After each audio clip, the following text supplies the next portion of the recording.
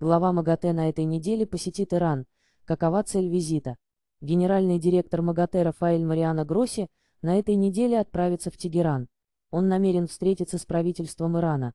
Об этом сообщает новости Украина со ссылкой на сайт МАГАТЭ.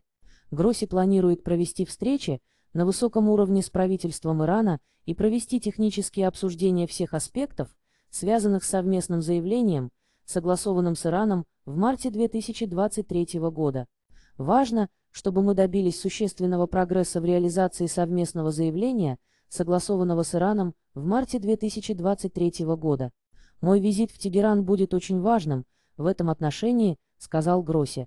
Напомним, что в начале года Гросси заявлял, что у Ирана достаточно урана для изготовления нескольких атомных боеголовок. Между тем, по информации Reuters, у Ирана достаточно запасов урана для создания трех ядерных бомб. В сентябре 2023 года запасы урана в Иране увеличились на 6,7 кг и составили 128,3 кг.